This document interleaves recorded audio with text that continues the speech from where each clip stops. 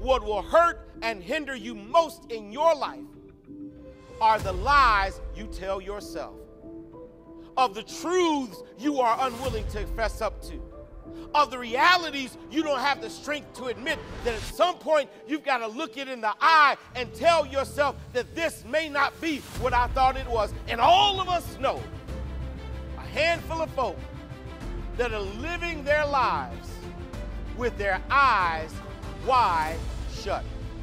I came by to ask you, what have you put a towel on? What have you repurposed?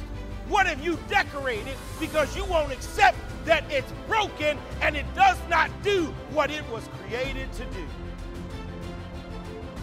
Where the Lord for someone is, you've got to learn to be honest about the limitations of your situation.